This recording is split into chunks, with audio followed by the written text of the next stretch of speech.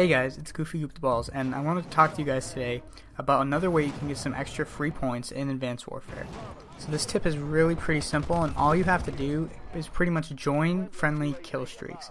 I know that sounds kind of weird, but for joining certain teammate kill streaks, you get plus 50 just for joining them. Never mind the points you get from getting kills from them or stuff like that. So the three kill streaks I think you can join are the bombing run.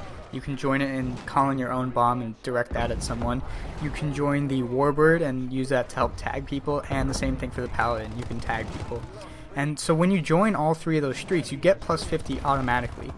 And then on top of that, you can get a bunch of points from tagging people or getting the one kill, which can really make the difference in you getting your kill streak.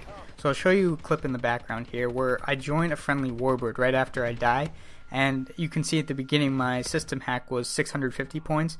And after I join this I get 50 for joining. And then all the spot plus 25s I get I get a total of 300 points because you can see I come out of the warbird and my system hack is only 350 points away.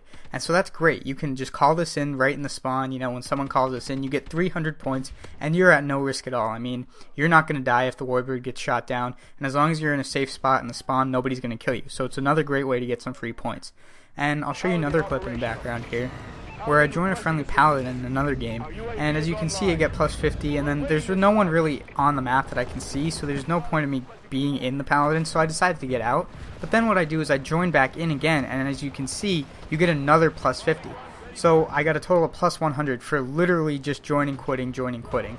And I don't know if that's a glitch because I could only get it to work on the paladin, not the warbird, but either way, you guys can still use that and get some free points even if there's no one on the map, you can just join it, get the points, leave it, join it, get the points, leave it.